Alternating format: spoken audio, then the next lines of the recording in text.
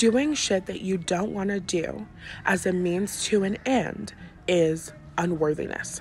Let me explain. There's this really popular story in business and life in general that says you have to sacrifice your happiness and a good feeling now in order to have a good time in the future. It's just not true. You're worthy of enjoying your life right here and right now. You're worthy of enjoying your business right here and right now. You're not supposed to be suffering through whatever is going on right now in order to get to where you want to be. It's unworthiness because you're saying it's bad and not okay for me to enjoy my business right here and right now. What I teach my clients is that there's always a way. That's the biggest affirmation that I would give you. There has to be a way. There has to be a way forward where I'm enjoying the work that I'm doing. There has to be an offer that I can create. There has to be a company that is hiring.